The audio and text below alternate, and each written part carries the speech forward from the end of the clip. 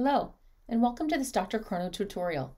In this video, I'll be showing you how to post a payment from the appointment window using DrChrono Payments.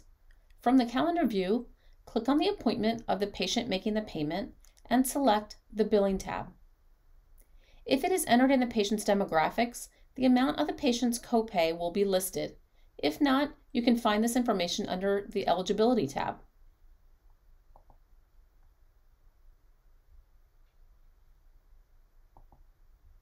When you're ready to process the payment, click on the blue plus and the payment screen will open. It'll automatically list the payment date as the current date and the appointment date is the date that you selected from the calendar. The payment method listed should be DrChrono Payments. If the copay is listed in the patient's demographics, the system will automatically post that in the amount field. If you need to change it, you certainly can by clicking in the box and typing in the payment amount.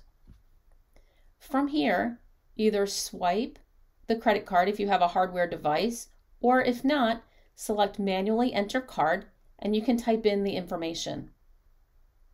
Before you move from this screen, be sure to click on Save Card Information if you'd like to save it for future payments.